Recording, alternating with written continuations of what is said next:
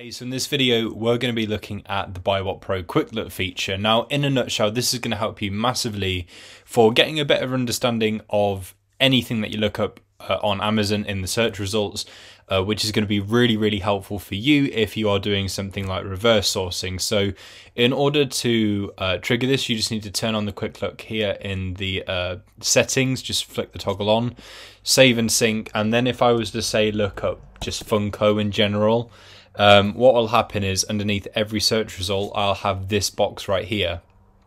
Now, um, it's the same thing. So what you get is the ASIN, the BSR, and in what category. You can open up a link to the item in full on a separate tab.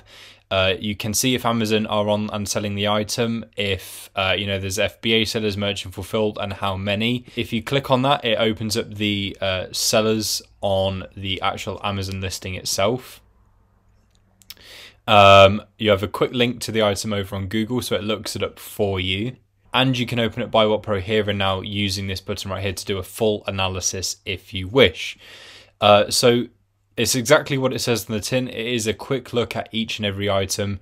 Super useful for if you're doing reverse sourcing because you can quickly grasp the popularity of each item and the amount of sellers on there. So if it's like a desirable competition for you, um, yeah, so you just get a bit more flavour about each thing rather than looking at everything without it and then still being left clueless because there's not really enough information on any of these things without the quick look to help you do any reverse sourcing.